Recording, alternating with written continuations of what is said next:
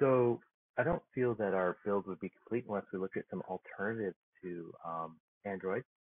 So I want to take a look at installing Ubuntu Touch on a OnePlus One phone.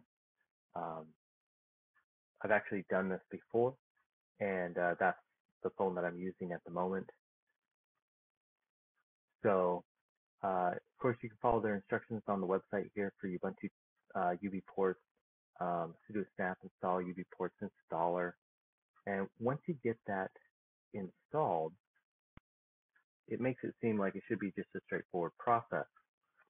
We see under our um, menu option that we can just open right up.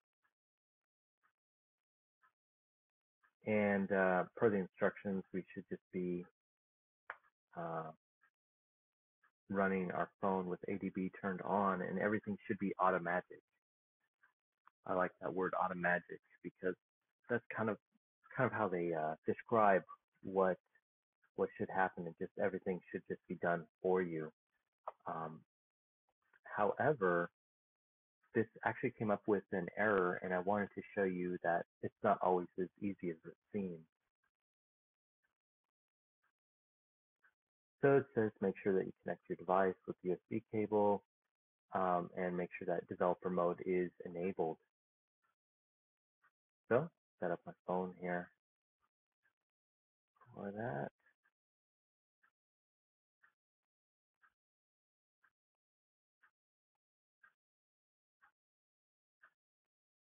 Developer mode turned on and um,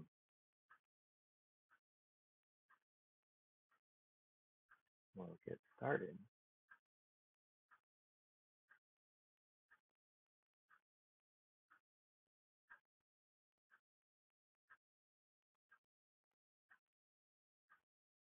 Okay, so plug in my phone and there we go.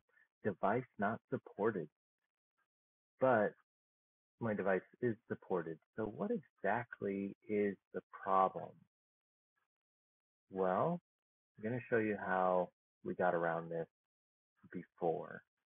Uh, now it says install anyways. Please select the device manually. You can select the device manually, but that actually doesn't work. And um, you can, it points you back to the website if you're having problems to go ahead and look through. And if you look on the website, you're not going to see anything on here about this error or problem.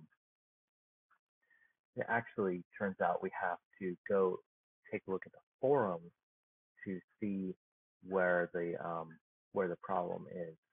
So we're going to jump over to the forum and we'll take a look there.